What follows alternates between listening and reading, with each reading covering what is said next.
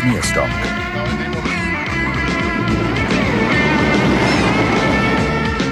Toni Teufel. Franz für Toni, bitte kommen. Und ihre Maschinen. 320 PS. Sie fahren Terminfracht in aller Herren Länder. Auf sie ist Verlass.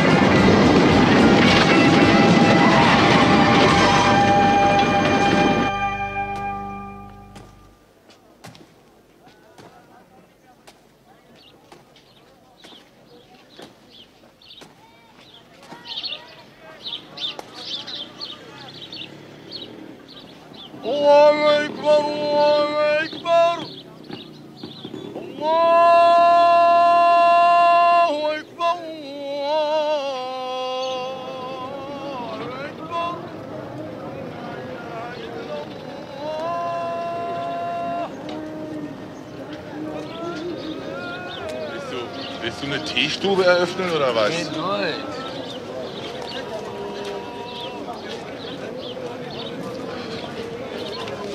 Für den Preis ist es spitze. Eine Spitzenlage. Spitzenaussicht. Spitzen vergammelt. Voilà, une chambre. Ist ein bisschen klein, findest du nicht? So.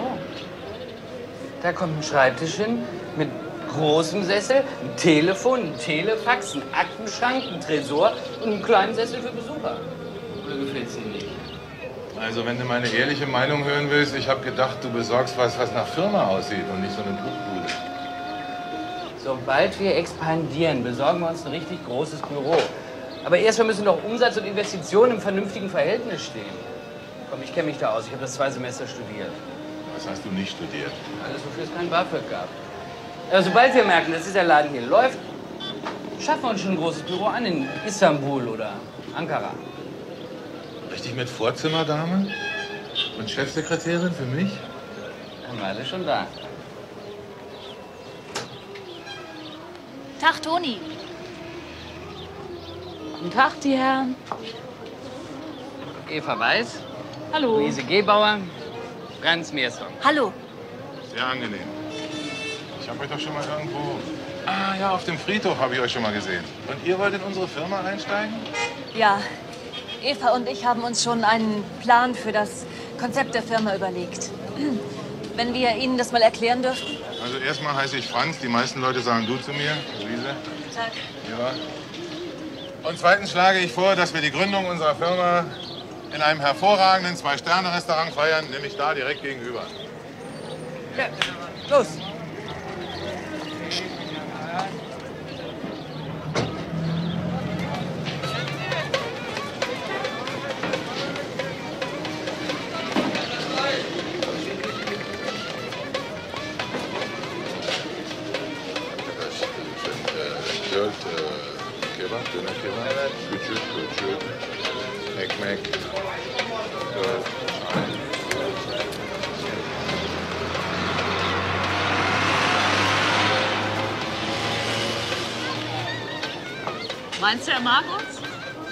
Jetzt erklärt ihm erstmal, was ihr vorhabt, und dann werden wir schon sehen. Ich finde, er macht einen richtig sympathischen Eindruck. Ah, das täuscht. Manchmal ist er ein richtiges Ekel. Lasst euch keine Geschichten erzählen, das ist ein notorischer Lügner. Ja, kann man euer Konzept mal hören? Ja, gern. Soll ich? Das Nonplusultra einer guten Firma sind Werbung, Akquisition und Organisation. Für Organisation ist Eva zuständig. Ich kümmere mich um Werbung und Akquisition. Anzeigen in Zeitungen, Aufschriften auf Trucks, Stopper in Branchenbüchern, Videos etc. etc. Dafür sind Investitionen erforderlich. Nach unseren Planungen dürften wir im ersten Monat mit 10.000 Mark auskommen. Diese Leerfahrten werden wir so weit als möglich ausschließen, indem wir per Computer einen Beladungsplan inklusive Zeitplan erstellen. So wie ich die Lage in dieser Gegend hier einschätze, werden wir im nächsten Monat eine Zuwachsrate von mindestens 400 bis 500 Prozent erreichen. Also, meine sehr verehrten Damen, als Direktor der International Transports heiße ich Sie in unserem aufstrebenden Unternehmen herzlich willkommen und wünsche Ihnen sowie auch uns viel Erfolg. Als erste Amtshandlung lade ich Sie alle zu einem gewaltigen Dönerkebab ein. Mustafa! Ja. Lang zu.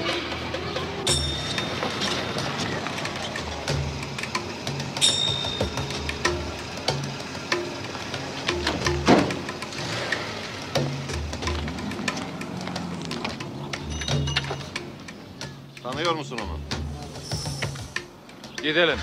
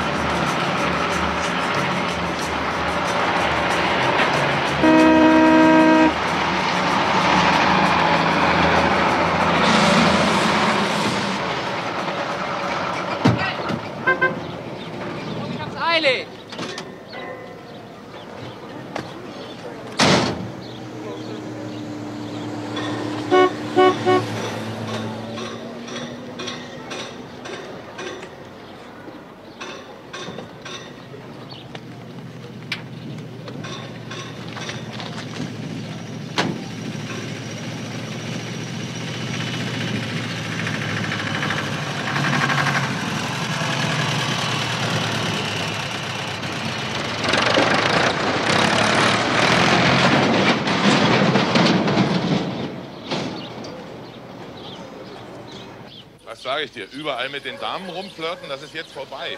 Unsere Chefetage besteht selber aus Damen, die schmeißen dich glatt raus. Aber türkische Küche testen ist jetzt auch vorbei. Jetzt werden wieder schön Stullen mitgenommen. Ey, bis jetzt habe ich meine türkische Küche noch immer aus der Privatschatulle bezahlt.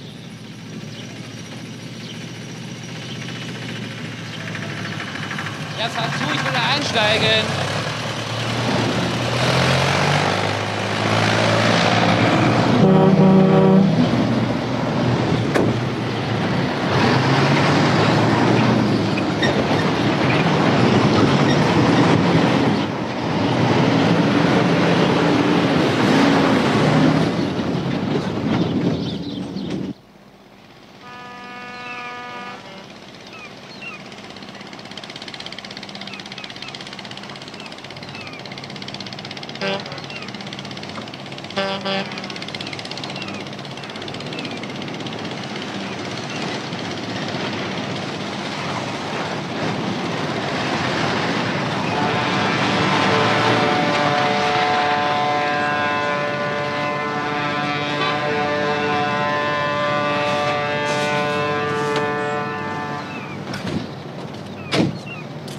Merhaba.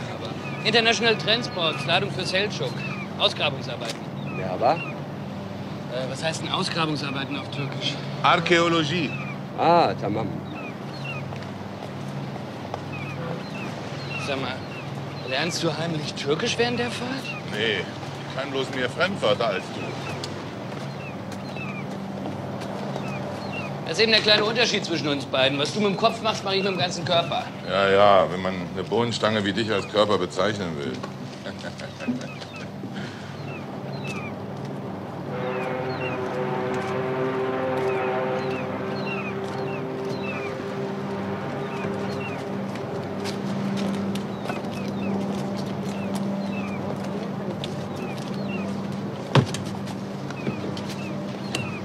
Merhaba. Äh, Transport, Selçuk? Selçuk. Tamam.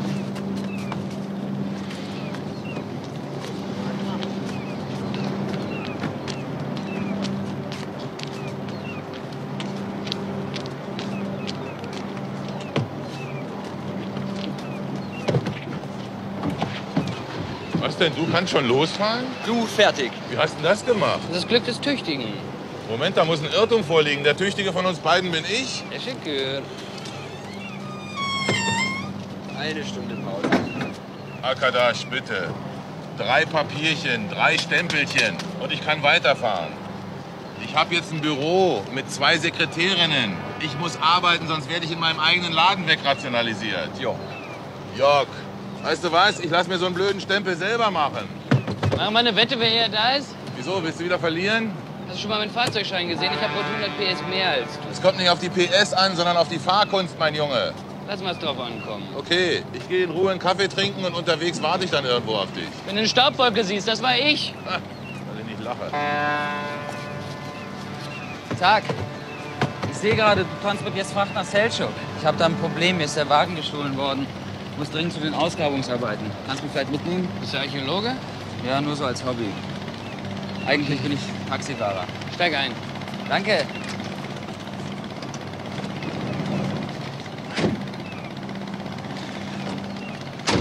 Wo kommst du denn her? Hamburg. Und du? München. München. Schöne Stadt. Bist schon lange hier? Nee, noch nicht so lange. Ich heiße übrigens Toni Teufel. Bert Keller.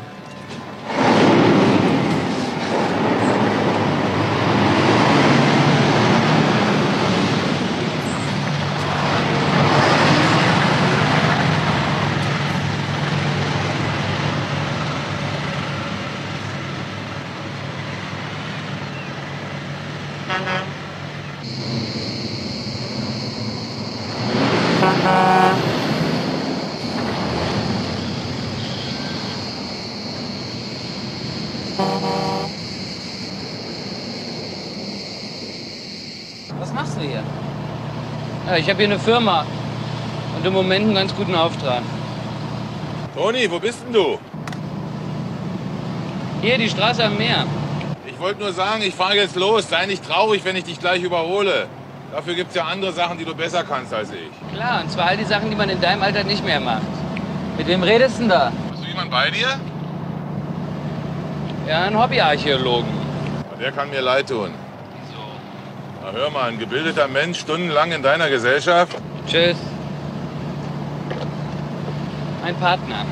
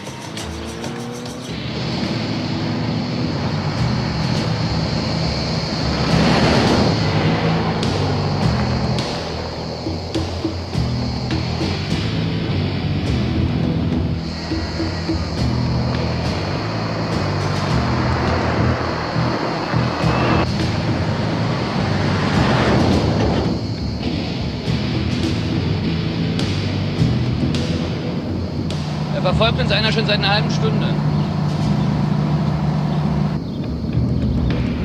Ja. Und? Vielleicht fährt er in die gleiche Richtung. Das glaube ich nicht.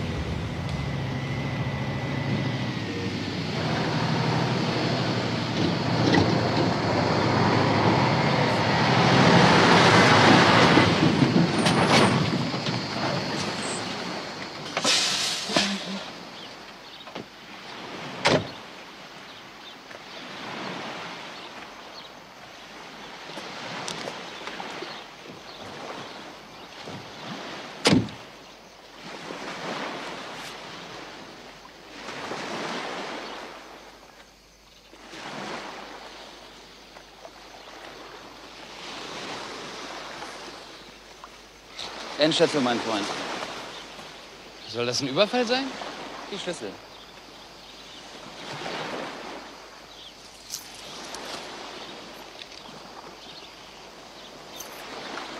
Was willst du damit? Du kannst deinen Truck in drei Tagen bei der deutschen Botschaft abholen. Tut mir leid. Ich tue das wirklich nicht gern. Das freut mich aber.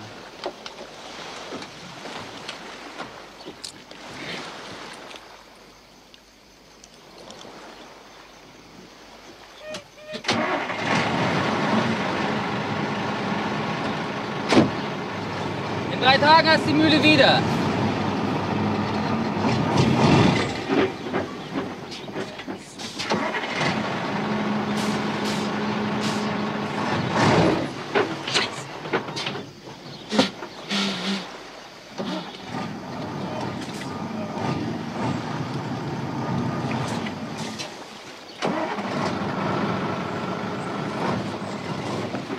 Wo ist denn die Handbremse? Mist!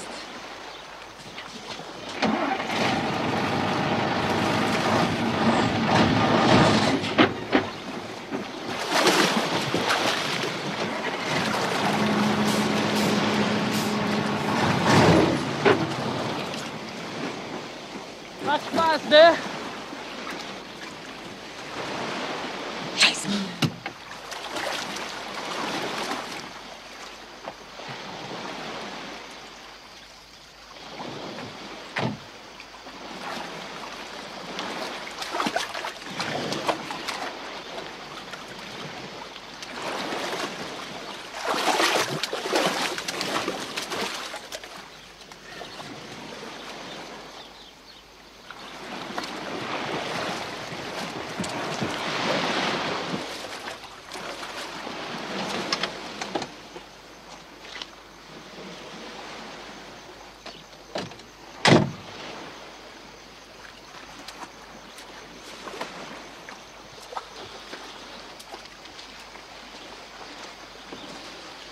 Also gut.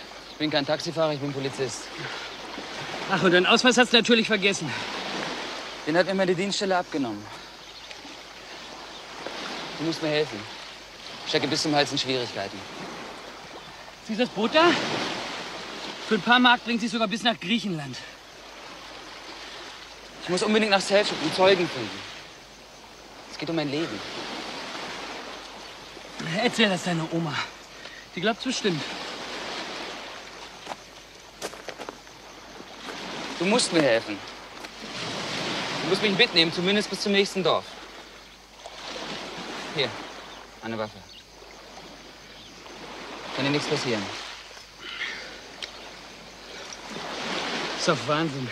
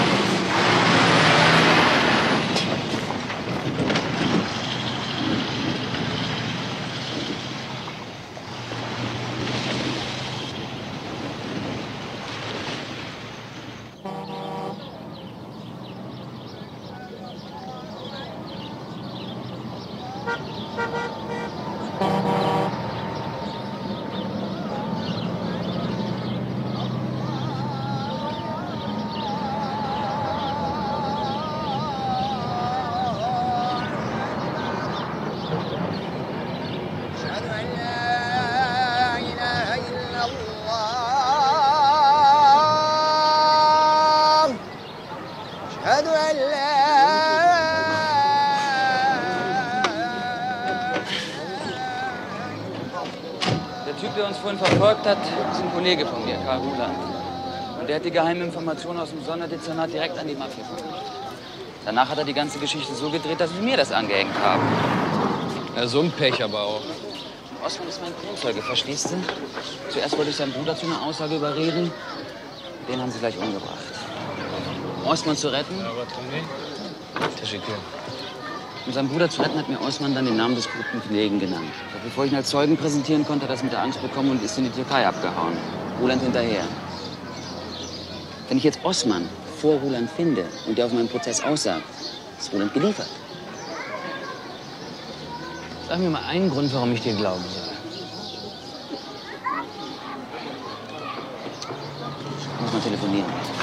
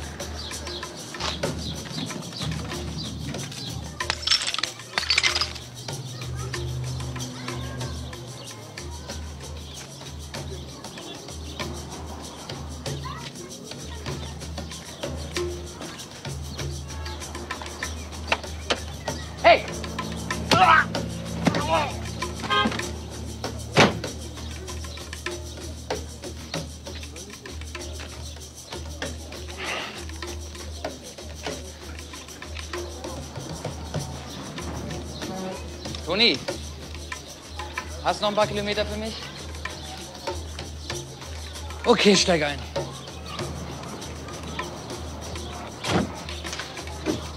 Danke. Dank dich, wenn wir da sind. Vielleicht überlege ich es mir noch anders.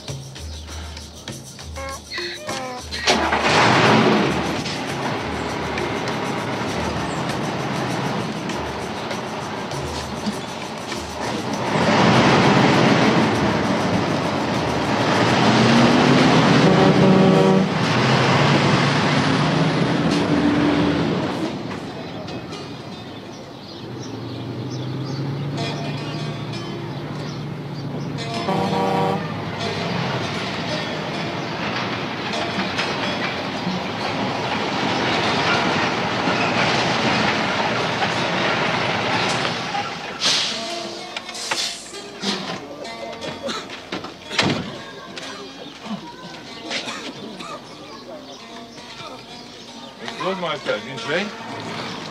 Kann ich Ihnen irgendwie helfen? Danke, es geht schon. Ah. Oh, dann haben Sie aber ein ziemliches Ei. Vielleicht sollten Sie mal zum Arzt gehen. Danke, es geht schon. Ich will mich ja nicht aufdrängen, aber hier in meiner Kabine ist ein schönes Bett, da können Sie ein bisschen hinlegen. Der Wagen steht da hinten.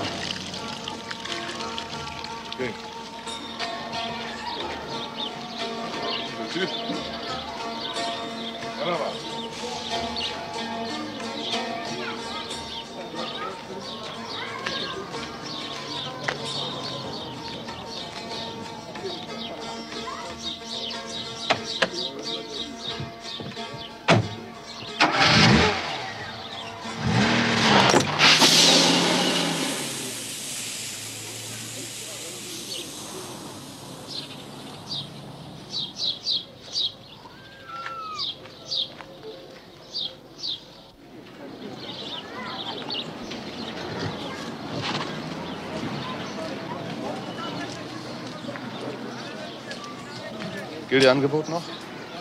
Auto weg? Ich spring nur nicht mehr an. Oh. Könnten Sie mich zur nächsten Polizeistation mitnehmen? Nächste Polizeistation, die ist in Zirke. Aber da fahre ich nicht vorbei. Vielleicht könnten Sie einen Umweg machen. Mein Name ist Ruland, Sonderdezernat, Typo Hamburg. Ich suche einen Mann, der hier in der Türkei mit einem Truck unterwegs ist.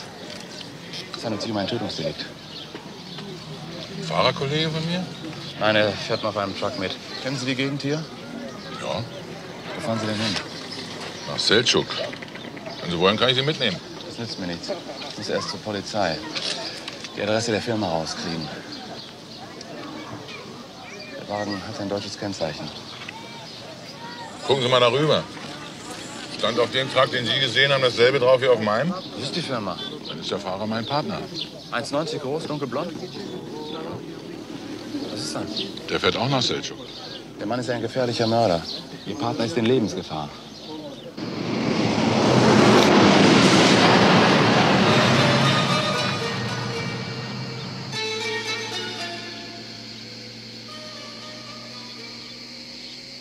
Der Mann ist eigentlich Polizist. Er heißt Keller. Er arbeitet für eine Bande von Drogenhändlern. Ich habe genug Beweismaterial gesammelt, um ihn zu überführen. Ich hatte sogar zwei Zeugen, zwei Brüder. Den ersten hat Keller bereits umgebracht. Jetzt sucht er den zweiten, wahrscheinlich weil er ihn auch umbringen will. Warum lassen Sie den Mann nicht von der türkischen Polizei verhaften? Weil ich nicht weiß, wo sich der zweite Zeuge aufhält. Er ist geflohen, nachdem er seinen Bruder ermordet aufgefunden hat. Das Einzige, was ich tun kann, ist hinter Keller herfahren. Ich habe nur wenig Zeit. Ich muss Keller finden, bevor er den zweiten Zeugen umbringt. Was haben Sie vor? Mein Kumpel warnen. Nein, das wäre das Falscheste, was Sie tun können. Wenn Keller merkt, dass ich bereits wieder hinter ihm her bin, dann wird er nervös und wer weiß, was er dann macht. Er denkt momentan, er hat mich abschütteln können. Und das ist gut so. Wir müssen vorsichtig sein. Wir Tracker haben so eine Art Geheimsprache. Ich spreche mit meinem Kumpel so, dass der Keller kein Wort versteht. Verstehen Sie? Toni! Franz, wo bist du denn? Ich denke schon, du hast aufgegeben. Ah, dich kriege ich schon noch. Immer mit der Ruhe. Momentan bin ich noch hinter dir. Ich bin aufgehalten worden. Verstehst du? Man kann ja Probleme haben. Sagen wir mal zum Beispiel mit Frauen. Denen darfst du nicht trauen. Welche Weiber meinst du? Du weißt schon, welche ich meine. Ich meine, du kannst nicht vorsichtig genug sein. Hä? Ruckzuck haben sie dich. Capito beim Wickel. Verstehst du? Du komm schon, Toni. Denk nach, denk nach. Klar, verstehe. Er hat's geschnallt. Aber weißt du, wenn du so viel Angst vor Frauen hast, warum gehst du nicht mal zum Psychologen? Er schnallt es nicht. Nee, er schnallt es nicht. Du weißt, wenn wir in Seltschuk sind, dann setzen wir uns mal ganz in Ruhe zusammen, trinken eine Tasse Tee und reden drüber, okay? Mach dir mal keine Sorgen, das geht schon wieder in Ordnung. Na ja, Ende. Das war doch nur wirklich ganz einfach. Das konnte doch jeder Idiot verstehen, oder etwa nicht? Also ich habe es nicht verstanden. Nee? Das war doch ganz einfach.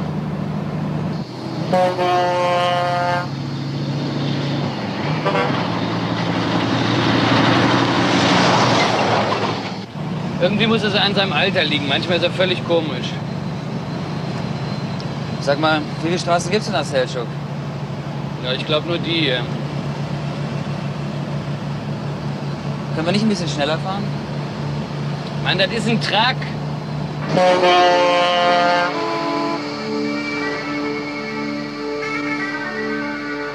Ich glaube nicht, dass wir ihn vor Seltschuk noch einholen.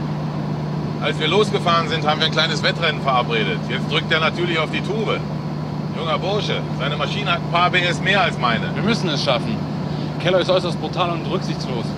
Ich habe noch niemanden gesehen, der so kaltblütig ist. Lange Zeit haben wir alle gedacht, er ist ein guter Kollege. Freundlich, hilfsbereit, integer. Er ist sogar schneller als andere befördert worden.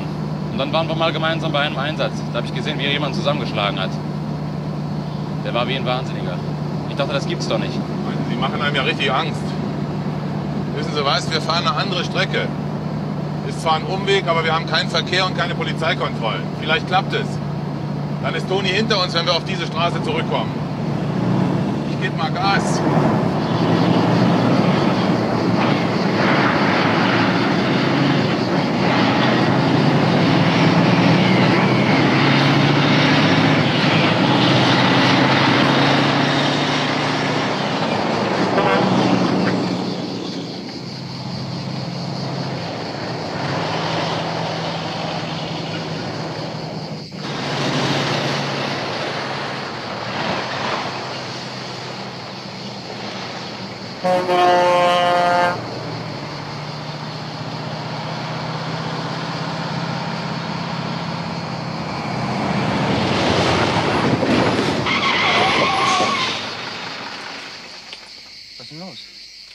Eine Polizeisperre?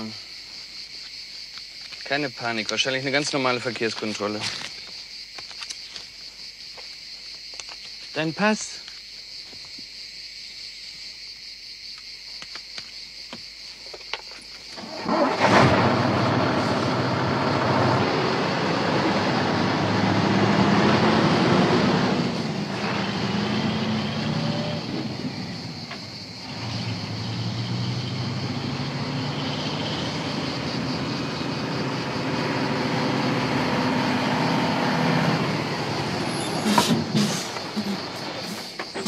Merhaba. Papiere. Wo fahren Sie hin? Feldschuk, Ausgrabungsmaterial.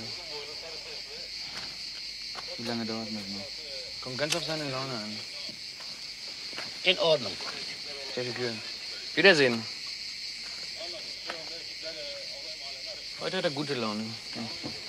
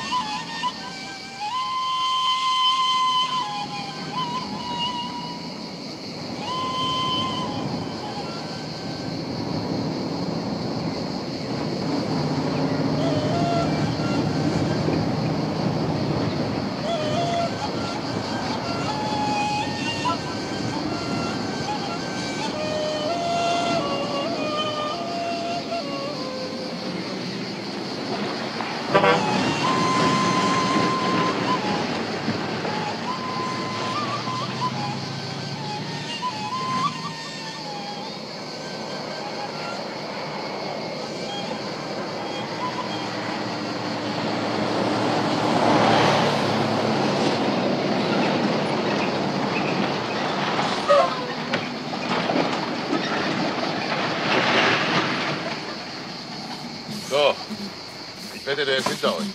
Auf seiner Strecke sind jede Menge Polizeikontrollen. Wenn er nicht anhält? Der muss. Es gibt ein ungeschriebenes Trackergesetz. Das ist schon 200 Jahre alt. Wenn ein Kollege eine Panne hat, musst du ihm helfen. Wir haben doch gar keine Panne. Wir werden gleich eine haben.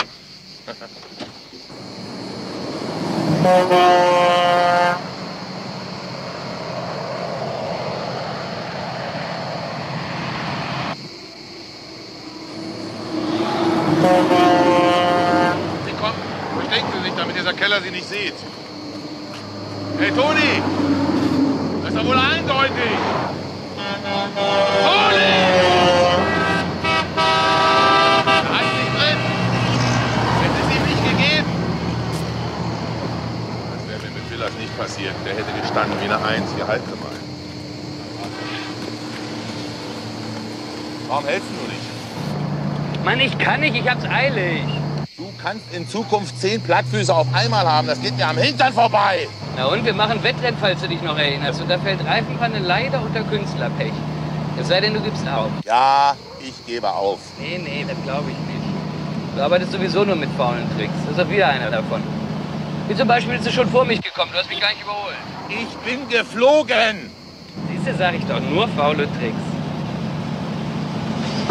Wie weit noch? Ungefähr 100 Kilometer. Hat man keine Angst, wir sind schon vor deinem Kollegen da. Hast es hier schließlich mit einem Profi zu tun. Sechs Milliarden Menschen leben auf der Welt. Die wollen alle essen und trinken und wir fahren ihnen den Plunder hin. Aber unser Trackerleben verkommt.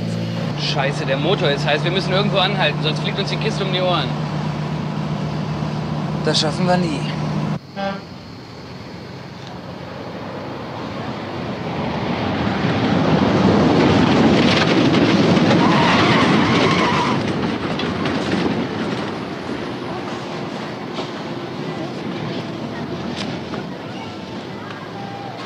So was passiert nun mal. Außerdem haben wir diesen Ruland schon längst abgehängt.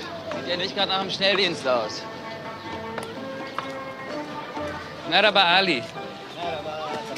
Kannst du dir den Motor anschauen? Ist irgendwie wieder heiß gelaufen.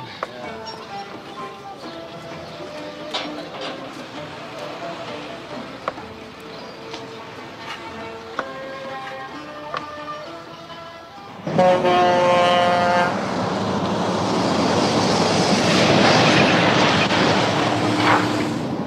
Mal da, jetzt hat er eine Panne. Und was mache ich? Ich halte an, weil sich das so gehört. Jetzt kann er mit Keller schnappen.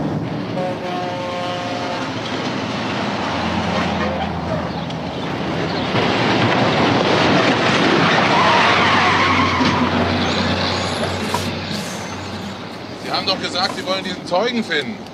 Wenn Sie sich jetzt den Keller schnappen, dann wird er Sie doch niemals dorthin führen. Stimmt. Habe ich im Moment gar nicht dran gedacht. Ja, ich bin ein guter Mann für die Kripo, was? Ich schlage vor, Sie bleiben jetzt hier und ich rede mit meinem Kumpel. Sagen Sie Ihrem Partner, er soll vorsichtig sein und alles tun, was Keller von ihm verlangt. Ich werde ihm schon das Richtige sagen.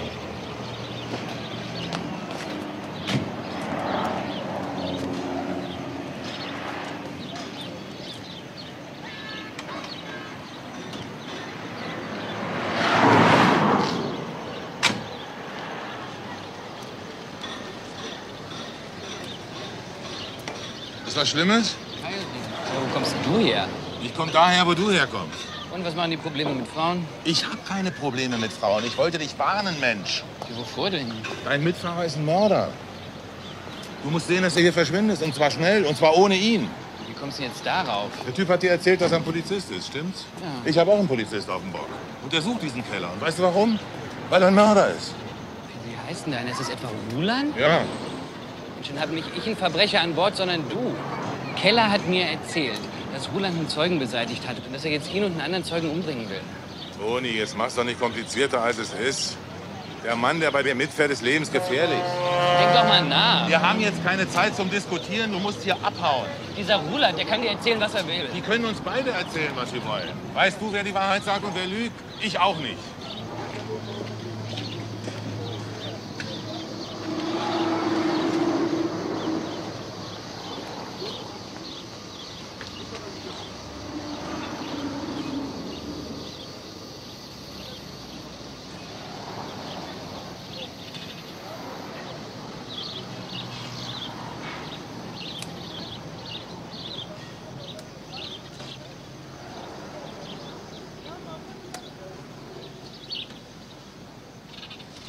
Wen haben wir denn da? Ich wusste, dass du keine Chance hast. Du musst mich schon umlegen, wenn du verhindern willst, dass ich Osman nach Deutschland bringe. Ich habe dich gewarnt. Wenn du deine Nase zu tief in meine Angelegenheiten steckst, kriegst du Ärger. Du armer Irrer. Meinst du immer noch, ich bin der Einzige, der Geld kassiert?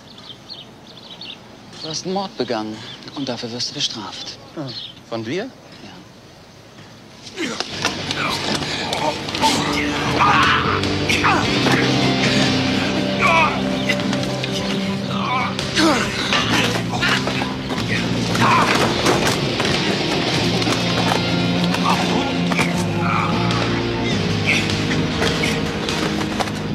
Hey, auf, ihr beiden. Aufhören! Wenn ich sofort Schluss, schieße ich nochmal und ich bin der schlechteste Schütze der Türkei. Könnte also sein, dass ich einen treffe. Keller, ich verhafte Sie wegen Mordes an Ali K. Danke, meine Herren, dass Sie mir geholfen haben. Aber jetzt komme ich alleine klar. Geben Sie her. Glauben Sie ihm nicht. Er hat Ali umgebracht. Das kannst du deinem Richter in Deutschland erzählen. Du? Du kannst es doch gar nicht riskieren, dass ich am Leben bleibe. Und wenn ich Osman finde und er aussagt, dann verschwindest du hinter Gittern. Das ist hier keine Talkshow. Gib mal her so ein Ding. So, wir wollen jetzt gerne wissen, wer von euch beiden das Dreckschwein ist. Zu dem Zweck fahren wir jetzt zu eurem Zeugen Osman. Der wird die Sache in wenigen Minuten aufklären. Ist den Herrn das so recht? Vorwärts. Und keine Dummheiten.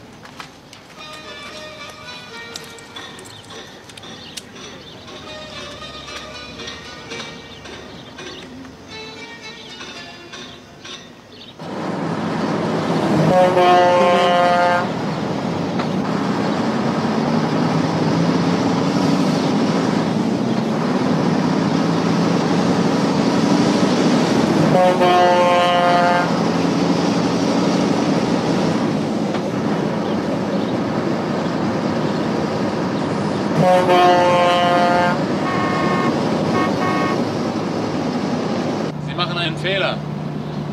Osman erschießt, und das wird unter allen Umständen versuchen, kriegen Sie eine Menge Ärger. Geben Sie mir die Waffe. Ich kann verhindern, dass ein weiterer Mord Ich habe Sie nicht aufgefordert, mich in Ihren Krimi reinzuziehen. Aber nun bin ich mal drin und so lange bleibt der Revolver hier liegen. Pfoten weg.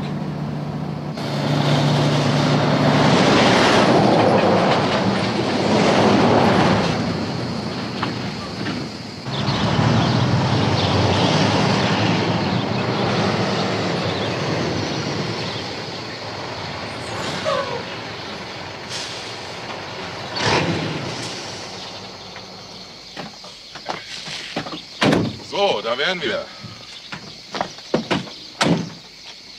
Ich bleib mit den beiden Herren hier und du holst diesen Osman. Dann werden wir sehen, wer gelogen hat und wer die Wahrheit gesagt hat. Bring den Osman in die Kantine. Ich bestelle dir inzwischen ein Bier. Okay, ich bei ihm. Vorrat, die Herren. Und derjenige von euch beiden, der gelogen hat, darf mir gleich fürchterlich einen ausgeben.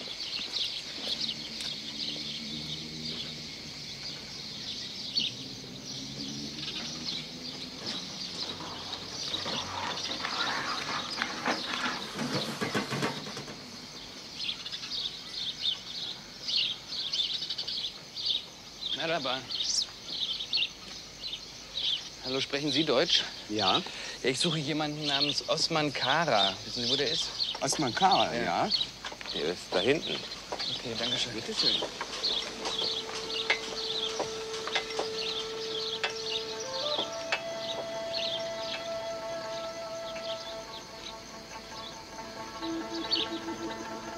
Merhaba, Kenan. Ein Schischkebab bitte. Zwei schöne kalte Biere für mich.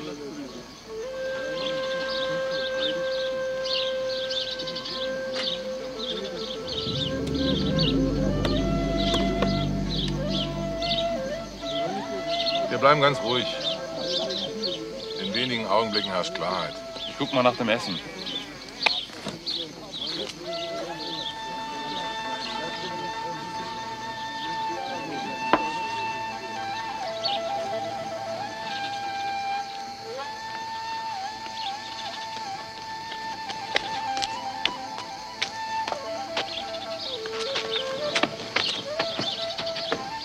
Ist weg.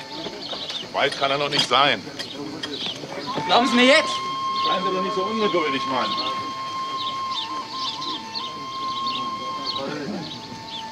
Entschuldigung, ich möchte zu Osman Kara. Der soll hier sein.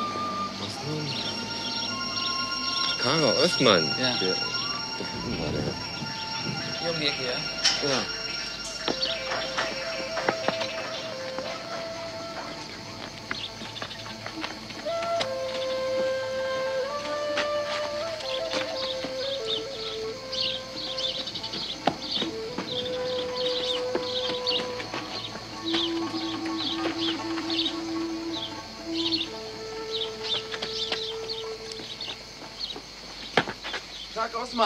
So sieht man sich wieder. Was wollen Sie von mir? Nicht viel. Ich will nur verhindern, dass du irgendetwas über mich ausplauderst, was mich belasten kann. Ich habe nichts gesagt. Werde auch nichts sagen. Als Maul! Das ist er. Das ist Osman? Ja. Keine Bewegung. Wenn sich einer von euch rührt, knall ihn ab. Osman, wer von den beiden hat ihren Bruder umgebracht? Er.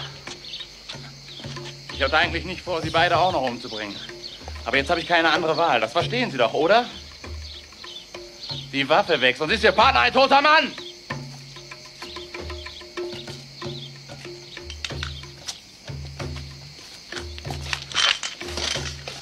Aber das werden Sie doch nicht machen. Machen Sie keine Dummheit, bleiben Sie stehen! Wir beide sind uns doch während der Fahrt menschlich näher gekommen. Geben Sie her. Lassen Sie den armen Mann in Frieden. Du kommst hier sowieso nicht raus oder willst du uns alle umbringen? Es gibt sehr einsame Stellen in der Türkei. Da kräht kein Haar nach euch. Bleiben Sie stehen. Brennt! Da stehen bleiben! Brennt! Ist leer.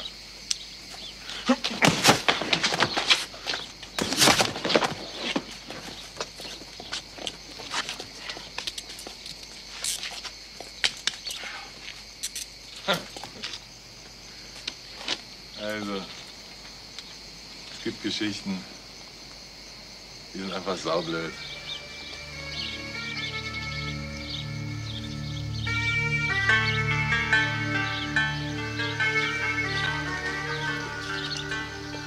Gibt es denn sowas wie eine Belohnung?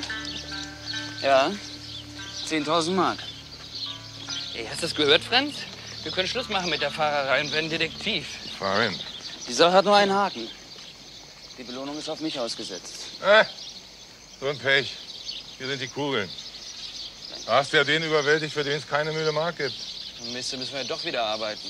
Wir sehen uns in Adana. Komm, komm, komm.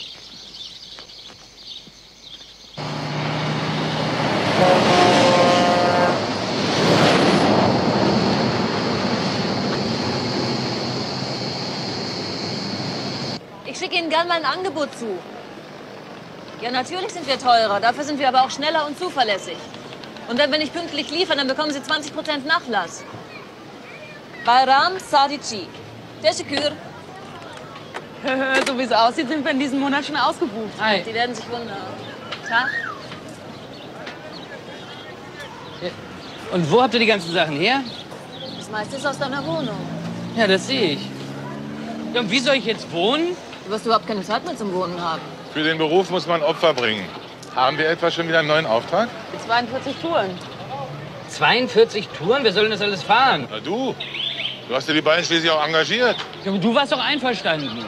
Ja, aber da wusste ich noch nicht, dass das zwei Sklaventreiberinnen sind. Hier sind die Frachtpapiere. Abfahrt 5 Uhr früh.